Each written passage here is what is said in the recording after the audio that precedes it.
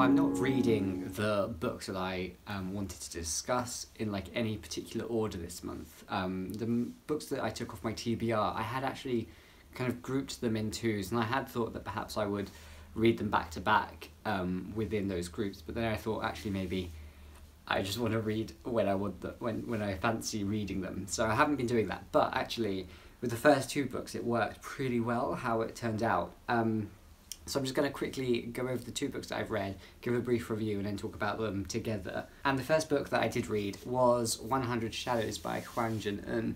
Now, this book um, was quite different to what I was actually expecting it to be, um, and it was kind of quite forgettable. It wasn't very memorable in any way.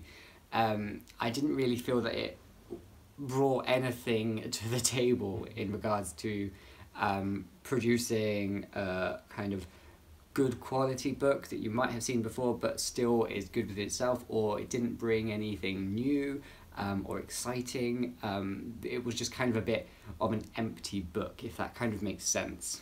The book itself follows this character called Eunye I think and um, she works in this sort of electrical department. I think she does repairs. And then there was a bit of confusion at the start as to whether this love interest, who is Mujae, also works in the same shop. I think he works in a different shop in the same building.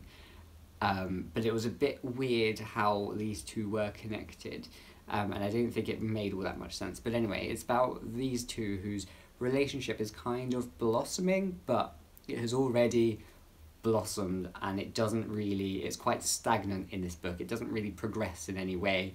Um, and the the quirkiness of the way this relationship sort of pans out is a bit odd.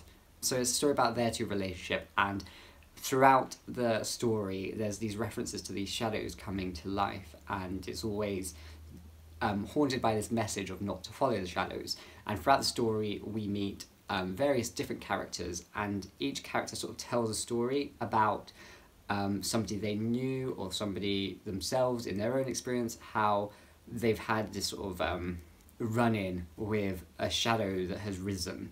Um, and so the shadows are kind of like a haunting figure throughout this book because we are introduced to it quite early on, and then the motif of these shadows becomes more and more um, talked about and more and more discussed as the book progresses until the end when but the ending doesn't really do anything it kind of just stops and that's that I was quite disappointed in the fact that I just didn't ever feel connected to any of the characters. The writing wasn't particularly like quirky in any way. It was just quite bland and empty, and it was just to the point. And ultimately, it didn't go anywhere. I think that was the biggest issue: is that it didn't go anywhere. But none of the characters were ever developed.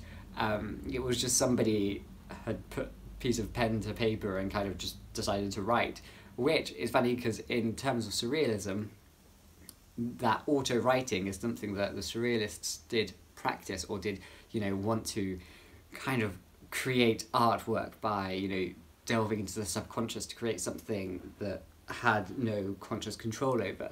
Um, but in this case, I think it was quite contrived, and I think it was trying to be something. You could almost get a glimmer of what this book wanted to be, but just wasn't. And um, I think, in terms of sort of the East Asian literary canon, which I think is growing um, quite fast at the moment, like in more recent times, you can see wh- where this author kind of fits into that and how this author is perhaps inspired by that, but she just doesn't quite have the skill to actually fully immerse herself into what she wanted to write. And I found, found that just quite disappointing, and I probably wouldn't be interested in reading so much more from her again. Um, so that's kind of what this book was about, and yeah, I just it fell flat for me. I gave it three stars because at least I could. I wasn't frustrated with it. I wasn't angry with it. I just kind of felt a bit meh. And then I read Leonora Carrington's The Hearing Trumpet. Now this book, um, also very different to what I was actually expecting going in. Um, but this book worked out much better for me as a reader, at least, than um, 100 Shadows did. This book follows our main character, Marion, who I, th- I think she's in Mexico, but I'm not actually 100% sure because I, I think I spent the first half of the book thinking she was in Spain. Um, and then, but then she kept on talking about being in the Americas, but definitely not in the US. So I assumed it was Mexico. Um, however, she's living with uh, her son, who she doesn't really like, and his wife and their son, I think. She gets a hearing trumpet from a friend, and she hears that these people, her family, want to incarcerate her in a sort of women's asylum um, to look after her in her old age, but also to kind of play the game that she is senile, and therefore she needs to be out of the house and be in a place where these doctors will look after her. So then she gets put into this institute, and she, with her friend who's on the outside, um, starts to initiate a plan to escape. But as these plans are kind of being organized, she uncovers further secrets of this sort of place where she's being kept, and um, it kind of turns into almost a bit like a thriller or a mystery that she has to solve. Um, and it was just a bit quirky. It gets weirder and weirder as it goes on. Um, in regards to the surrealist nature of this book, I was actually expecting more. There are some really nice elements to it um, in the way that Carrington structures her sentences, which do feel very surrealist. So, for example, there is this one sentence that says, I detected a new sound quite near and strangely reminiscent of mince pies, which kind of alters with this whole um, relating a sound to a food, which you would either think would be a smell or a taste. Um, so it kind of disrupts that sentence in a way that's um, casting a new sort of meaning to it, um, or in fact a dismeaning or unmeaning of it. Um, it kind of like unravels the sentence um, in a way that you wouldn't expect it to. So things like that. Um, there are a few sentences which kind of end in a way that um, debunks where you think the sentence might be going, uh, which is always really interesting to read. But from the surrealist perspective, it actually isn't all that surreal, I guess, until the end. I think the story itself kind of perhaps has a more surreal structure in the way that it kind of unravels and that the second half is in juxtaposition to the first half, creating this whole new experience. But um, throughout, it didn't wholly feel like a surreal text. Both of these books um, where they didn't have that sort of surre- surreality that I thought they might have.